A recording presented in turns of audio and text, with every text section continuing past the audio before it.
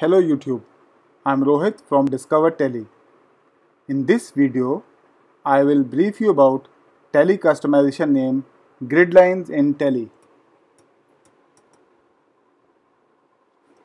I'll select a already made company. In the configuration box, I can find one TDL loaded. This means that the TDL for this customization has already been loaded. In order to activate this customization grid lines in Tally, I go to F11, add-on features, modify journal features to yes, and display grid lines in reports to yes.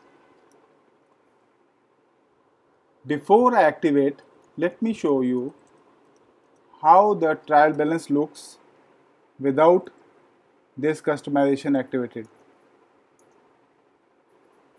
It can be a detailed one. Yeah, here it is. So it's a normal trial balance. And if I find give a print preview, it is something like this.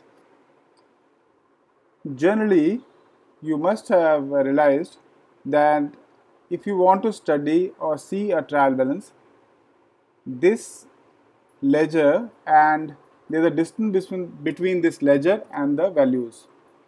And for this purpose, usually you use a normal scale or some uh, some paper so that you read the figures straight.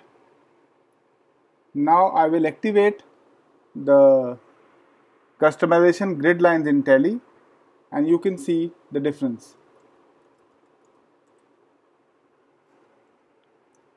I'll go to F11 add-on features. Yes. Yes. Save the box. Save the form. Now I go back to the trial balance. Look.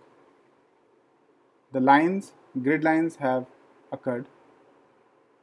If I see the detailed one it's something like this.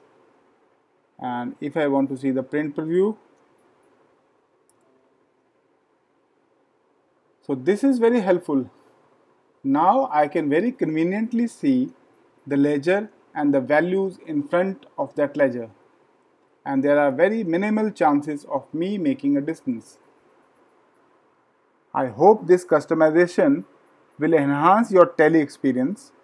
We are giving away this and many more customizations for free. Just subscribe to our channel Discover Tally and comment below your views on this customization to participate. Thank you.